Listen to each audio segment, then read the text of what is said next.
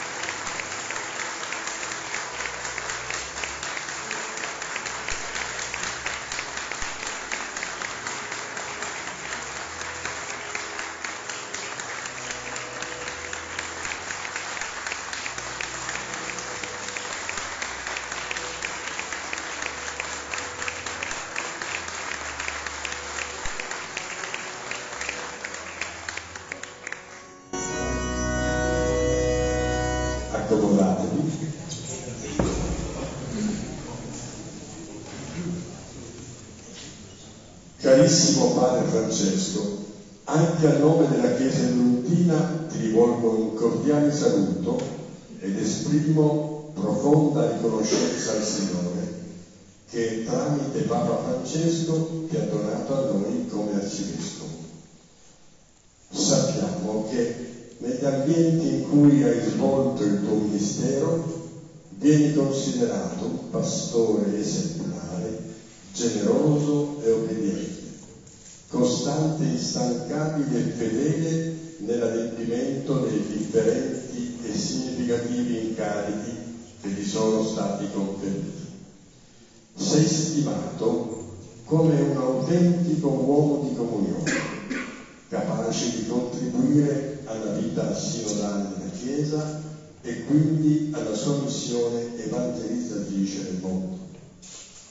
Credo di interpretare fedelmente i sentimenti della Chiesa di Dio che è in Otranto, che ti accoglie con grande affetto spirituale, ti accompagna da subito con la preghiera e ti augura un ministero episcopale gioioso, fecondo di bene e sempre guidato dallo Spirito Santo. Cristo, buon pastore che dona la vita per il suo gregge, è la via sicura di ogni pastore e la sorgente della grazia necessaria per la missione ricevuta. Affidiamo all'intercessione dei santi martiri druntini e a Maria Santissima, Vergine del Cammino, il tuo mistero di Padre e Maestro. Auguri.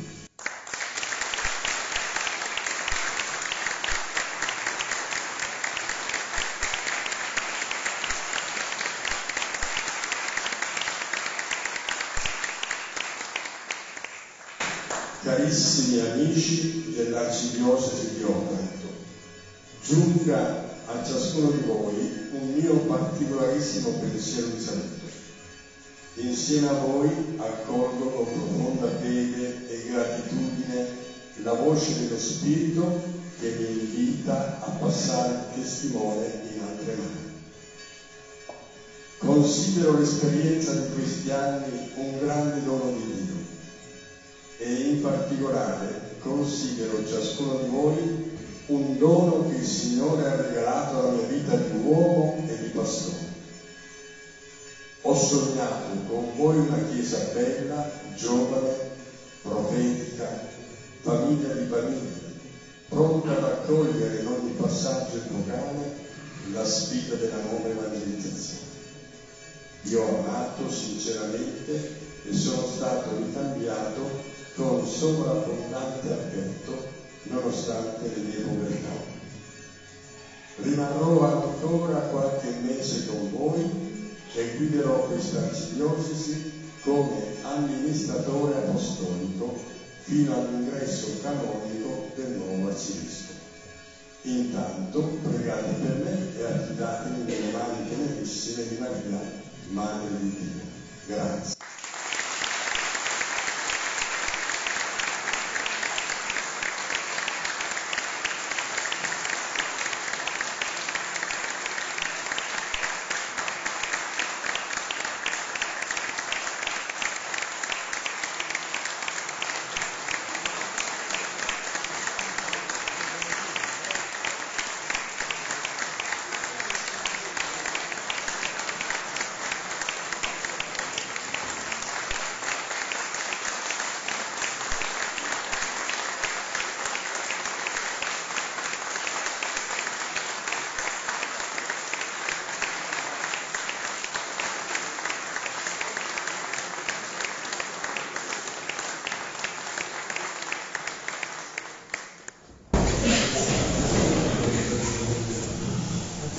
Buongiorno a tutti, pace e bene. Grazie per questa accoglienza cordiale, ne ho bisogno. Immaginate che sono momenti che contano nella vita di una persona, mi chiedono un grande coinvolgimento, una grande trasformazione. Vi ringrazio dunque di questa generosità. Ho preparato un discorso ufficiale, non lo leggerò alla lettera, però mh, come traccia. Carissimi, per la prima volta mi rivolgo a voi con il saluto di San Francesco, il Signore vi dia pace. Incomincio esprimendo la mia gratitudine a Sua Santità Papa Francesco, il quale mi ha benevolmente ritenuto degno di fiducia, affidandogli questo servizio nella Arcidiocesi di Urbina. Ho potuto incontrare Papa Francesco diverse volte e sono stato testimone diretto della carità che segna il primato della Chiesa di Roma e del suo vescovo. Indirizzo inoltre un saluto con affetto filiale a Sua Eccellenza Monsignor Donato Negro, che ho il privilegio di conoscere e stilare da oltre 30 anni. L'abbraccio e il sorriso con cui mi ha accolto sono per me un prezioso incoraggiamento. La sua persona e la sua esperienza saranno per me riferimento sicuro nell'esercizio dell'ufficio pastorale che mi attende. Approfitto per comunicare in aggiunta al testo che abbiamo concordato come data dell'ordinazione sabato 17 giugno nella mattinata. Ordinante sarà Sua Eccellenza Monsignor Negro nella nostra cattedrale di Otranto.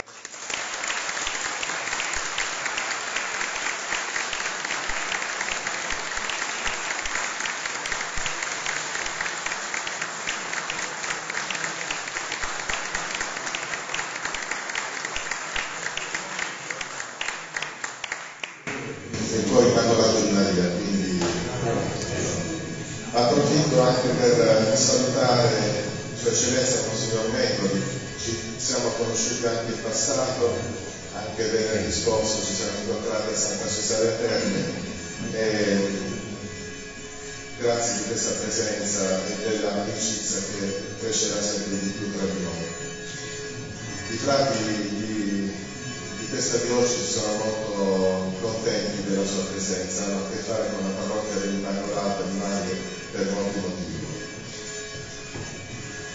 Rivolgo poi un saluto cordiale attraverso di voi a tutta la gente del territorio abbracciato dall'arcidiocesi. Tra la gente di questa diocesi infatti annovero già tanti amici che avrò la gioia di incontrare nel cammino che sta iniziando. Penso ancora a voi, sacerdoti e diaconi conosciuti in questi anni, specialmente negli incontri di formazione permanente a Santa Cesarea Termine, che è accaduto qualche anno fa. Tra l'altro Santa Cesarea Termine è un luogo significativo per la provincia dei Cappuccini da cui vengo. Io sono stato eletto ministro provinciale, lì è stato eletto e riconfermato il mio ministro provinciale fra Giampaolo Lacerei.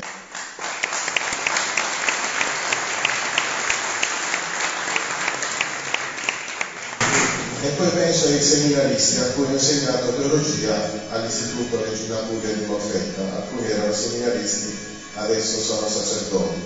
Siete una chiesa benedetta generosamente da Dio, una chiesa bellissima in una terra bellissima. Tra i figli delle arcidiocesi che ho conosciuto, desidero ricordare in modo speciale due figure per me importanti, entrambi cappuccini. L'una è quella ben nota di Monsignor Benigno Papa, nato a Spongaro, il quale ha concluso la sua esistenza terrena pochi giorni fa, il 6 marzo. L'altra figura meno nota, ma per me non meno significativa, è quella di Fra Luigi De Donno, di Maglie, mio compagno di formazione teologica, scomparso prematuramente nel 1991 la cui testimonianza continua a brillare nel ricordo di quanti lo hanno visto camminare sul sentiero della luce. Si tratta dello zio di Don Luigi De Don. Ringrazio il Signore per i doni ricevuti attraverso le persone che mi hanno introdotto e fatto crescere nella vita e nella fede, i miei genitori, i miei fratelli, gli amici, formatori, docenti, i sacerdoti della parrocchia Santa Croce di Bari, da cui provengo, e poi i gesuiti dell'Istituto di Canna Brescia di Bari e dell'Università Gregoriana di Roma. Ricordo in particolare tre figure episcopali alle quali sono debitore. Mi riferisco a padre Benigno Papa, arcivescovo di Taranto, già citato, il quale mi ha ordinato diacono e mi ha testimoniato l'amore alla parola di Dio, accolta, studiata, pregata, annunciata. Sono inoltre legatissimo al benedettino padre Mariano Magrassi, arcivescovo di Bari di Tonto, il quale mi ha ordinato presbitero e mi ha attratto alla liturgia come spazio in cui si incontrano la terra e il cielo. E guardo ancora al venerabile Don Tonino Bello, vescovo di Molfetta, Lugo Giovinazzo Terlizzi, che ha ordinato sacerdote mio fratello Don Antonio. E mi ha insegnato che la Basilica Maggiore ove il Signore abita e in cui occorre onorarlo, sono i poveri e i sofferenti. Ringrazio in modo speciale l'ordine dei frati minori cappuccini, la famiglia religiosa con cui ho condiviso circa 40 anni di vita cristiana e a cui devo così tanto. Mi sarà difficile staccarmi dalla loro quotidianità, ma continuerò a condividerne il carisma e lo stile di fraternità evangelica. Per questo Desidererei continuare ad essere chiamato come è stato fino ad oggi, semplicemente Padre Francesco. Ciò, infatti, chiedo al Signore di poter segnare un'offerta di paternità e fraternità. Quando il nunzio apostolico, Sua Eccellenza Monsignor Sheriff, mi ha comunicato questa responsabilità affidatami da Papa Francesco, parlo adesso liberamente, mi è capitato di sentire eh, nuovamente lo sguardo e l'amore del Signore fissarsi su di me, come se il cielo si fosse aperto una seconda volta come già tanti anni fa. Un amore che mi guarda e mi chiede a rispondere con un amore sino alla fine. Quando mi sono consigliato poi con il mio padre spirituale, che sarebbe il mio vicino di casa, di curia generale, eh, padre Raniero Cantalamessa, e lui mi ha detto non cercare niente e non rifiutare niente. A me è venuta eh, immediatamente l'immagine della moltiplicazione dei pani dei pesci. Sapete che nella versione di San Giovanni compare un ragazzo che mette a disposizione i pani e i pesci. Gesù non dice va bene, penso io, basto io, no, vuole che questi pani e pesci vengano portati dal ragazzo il ragazzo li mette nelle mani di Gesù e poi le mani di Gesù provvedono. E qui io mi sento un po' come questo ragazzo. In quel momento io offro interamente ciò di cui dispongo e poi le mani del Signore produrranno la moltiplicazione.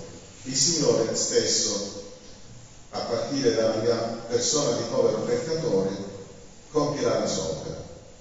E perciò vado a concludere chiedendo il dono della preghiera a tutti voi. Chiedo preghiera anzitutto a Maria Santissima, la piena di grazia, la più umile e alta tra le creature. La Madre del Signore ci ricorda che la vocazione ultima dell'uomo è una sola, quella all'unione con Dio e alla santità, e che il nostro cuore è inquieto finché il Dio non la pace. abbandonandosi totalmente nelle mani di Dio, pronunciando in ogni istante della vita il nostro Amen. Chiedo preghiera al Santo Arcivescovo Stefano, a tutti i santi martiri di Otranto, a dieci anni dalla loro canonizzazione.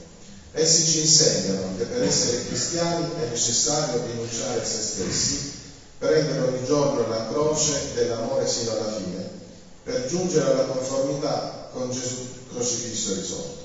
Chiedo preghiera a San Francesco d'Assisi, perfetta immagine di Cristo e fratello universale, e a tutti i santi della famiglia francescana, in particolare a San Pio da Pietrelcina, rappresentante stampato delle stigmati di nostro Signore, da cui prendo il mio nome di battesimo. Chiedo preghiera a ognuno di voi, carissimi fratelli, affinché tutti insieme ci apriamo all'azione dello Spirito Santo, il quale costruisce la comunione tra noi e ci spinge ad annunciare il Vangelo ad ogni creatura.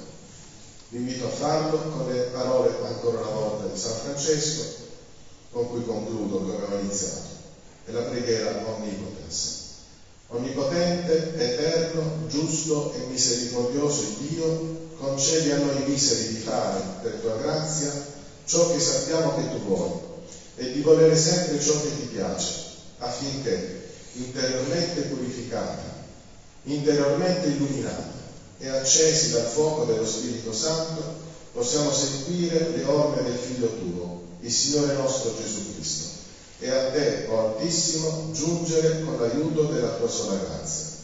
Tu che vivi regni glorioso nella Trinità perfetta e nella semplice unità, Dio Onnipotente, per tutti i secoli dei secoli. Amen. Amen. Grazie, vi benedico di cuore, sappiate che Ancora una volta ieri sera nella preghiera dinanzi al crocifisso di San Damiano, Sorano, ho sentito una grande pace e una grande gioia, non psicologiche, ma eh, frutto del tocco del dito della destra Padre, qualcosa di spirituale. E quindi sono nella pace, nella gioia e sono felicissimo di eh, iniziare a camminare tra un insieme a voi. Pace e bene.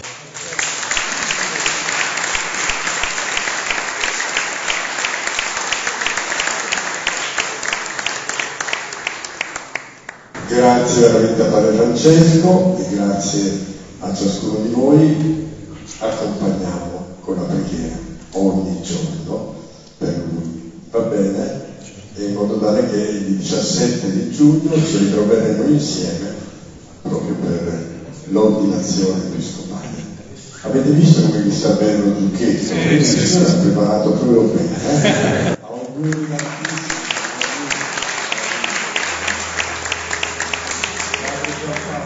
Anche a pensare, lui è stato riconfermato e quindi dovrà tanto servire questa chiesa Grazie.